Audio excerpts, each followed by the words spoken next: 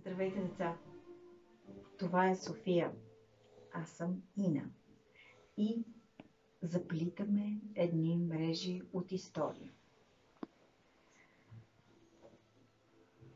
В вълшебното съндъче с истории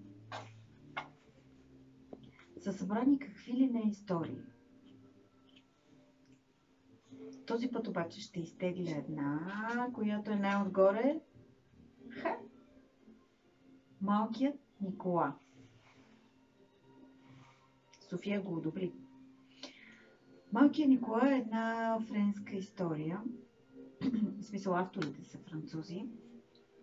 И така като се огледам, а, на масата, освен котката Фрида, и нея помните, нали? Дето не е ясно дали е камък, върху който е нарисувана котка и просто е котката Фрида. И дали гледа или не гледа, нямам представа. Ам, има един фотоапарат. Някога, преди всеки да си има смартфон, аз нямам, защото така съм решила, ам, хората са снимали с фотоапарати. И да ви кажа, работата на, фотоапар... на фотографа не била много лесна, особено ако трябва да снима много хора. Но, ей, сега ще започнем с историята и ще видите какво имам предвид. Малкият Никола. Издателството е Златострой. Книжката, с която разполагам, е отпечата на 1995 година, но се надявам, че тази история ще ви хареса толкова, колкото и харесва на София. Готови ли сте? Започваме.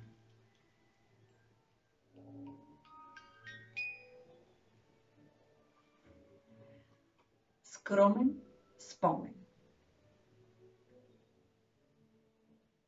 Тази сутрин всички дойдохме на училище радостни и доволни, защото ще ни справят снимка на класа. А учителката каза, че тази снимка ще ни остане скромен, но скъп спомен за цял живот. Каза ни също да бъдем чисти и добре сресани. Имах сумати брилянтин по главата, когато пристъпих в двора, където им играем през междучасията. Всички приятелчета се бяха събрали, а учителката тъкмо се караше на Жофруа, задето е дошъл облечен като марсианец. Таткото на Жофруа е много богат и станеше ли дума за някоя играчка, купува му я. Жофруа обясняваше на учителката, че твърдо искал да се снима в марсианско облекло, иначе щял да си отиде. Фотографът също беше тук с апарата си и учителката го каза да побърза, защото иначе ще си загубим часа по аритметика. Анян, който е първенец на класа и любимец на учителката, заяви, че ще бъде жалко да пропуснем аритметиката, много е обичал и си бил решил всички задачи. Хюдес, едно много яко приятелче, искаше да перне Анян по носа, обаче Анян е с очила и не можем да го бием толкова често, колкото ни се иска. Учителката се развика, че сме непоносими и ако продължаваме така, няма да има снимка и влизаме в час. Тогава фотографът каза, хайде, хайде, спокойно, спокойно, аз умея да разговарям с деца, ей се гичка ще се оправи. Фотографът реши да застанем в три редици. Първата редица да седи на земята, втората да стои от двете страни на учителката, която ще седи на стол, а третата да се покатери върху съндъци. Страхотни ги измисля този фотограф. Отидахме за съндъци в училището Мазе. Беше много весело, защото вътре е доста тъмно. Рефил си сложи на главата една стара турба и викаше Уху, аз съм призрак. После пристигна учителката. Явно беше малко ядосана, така че бързо се измъкнахме с съндъците. Само Рюфюс остана. Нали имаше турба на главата, не виждаше какво става и продължаваше да вика Уфу, аз съм призрак. И когато учителката му смъкна турбата, Рюфюс здравата се очуди. Щом излезе отново на двора, учителката пусна ухото на Рюфюс и се плесна по челото. Ама вие сте целите черни, рече тя. Вярно, докато щореехме из мазето, се бяхме понацапали. Учителката хич не, не беше доволна, но фотографът я увери, че няма страшно, имаме време да се измием, а пък той ще ни подреди, а той ще подреди съндъците и стола с снимката. С изключение на Анян, само Жофроа не си беше умърлял лицето, понеже на главата му беше мар- марсианският шлем, а той прилича на буркан. Видяхте ли, каза Жофроа на учителката, ако и другите бяха дошли облечени като мен, всичко щеше да е наред. Забелязах, че учителката има голямо желание да изтърпа ушите на Жофроа, обаче бурканът ти пречеше. Този марсиански костюм е голяма работа. Върнахме си измити и сресани. Бяхме малко мокри, но според фотографа това било без значение, нямало да си личи на снимката. Тъй, рече фотографа, сега искате ли да зарадвате вашата учителка? Казахме, че искаме. Ние си обичаме учителката, адски добричка е, когато ни я ядосваме. Тогава, продължи фотографът, застанете мирно и тихо на местата си за снимката. Високите върху съндъците, средните на разправи, по-дребничките седнали. Започнахме да се подреждаме, а фотографът се взе да обяснява на учителката, че успешната работа с деца просто изисква търпение, обаче тя не можа да го доизслуша. Наложи се да дойде да ни разтървава, понеже всички искахме да бъдем върху съндъците. Само аз съм висок тук, викаше Юдес и избутваше всички, които искаха да се покателят върху съндъците. Жофроа обаче упорстваше. Юдес го перна по буркана и ръката ужасно го заболя.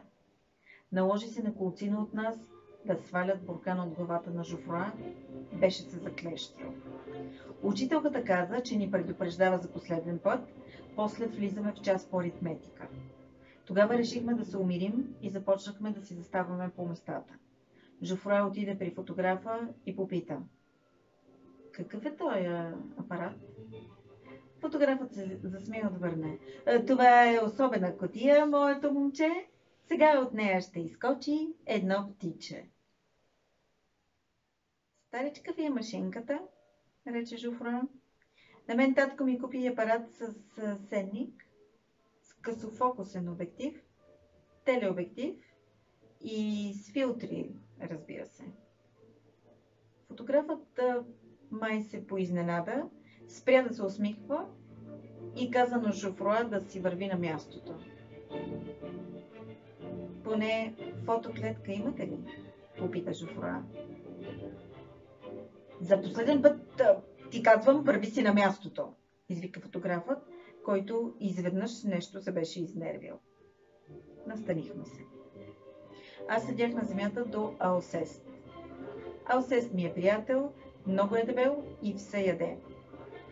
Тък му беше загризал една филия с конфитюр и фотографът му каза да спре да яде, а Осец отговори, че все пак трябвало да се храни. Махни тая филия! извика учителката, която седеше точно зад Аосес. Аосес така се стресна, че изтърва филията върху ризата си.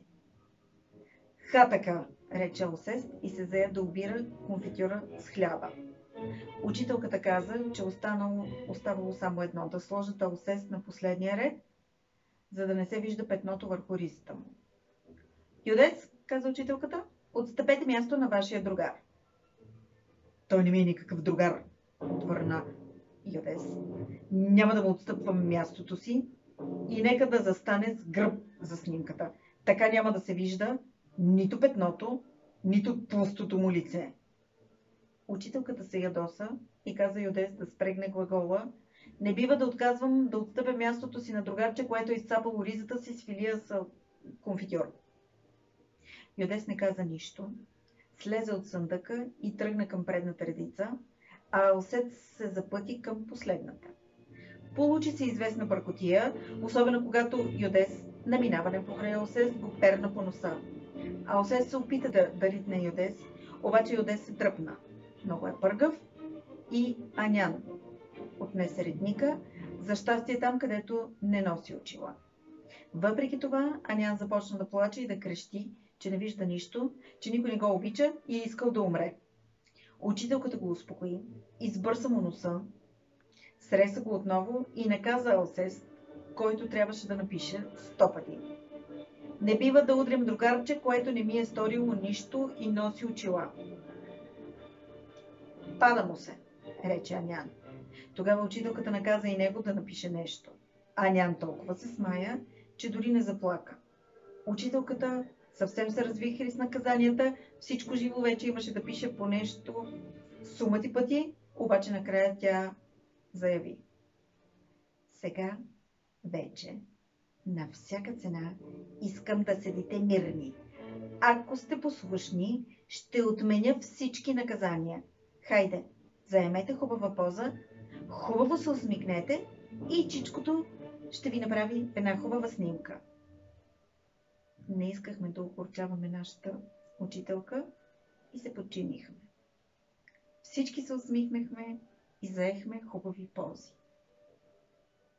Обаче, нищо не излезе от скромния и скъп спомен за цял живот. Фотографа вече го нямаше. Беше си тръгнал без да се обади.